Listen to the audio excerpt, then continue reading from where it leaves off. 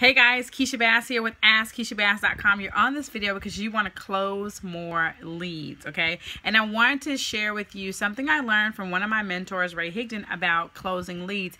And so he taught us that first and foremost, you got to capture them first, right? Find, you know, got to get the lead first, right?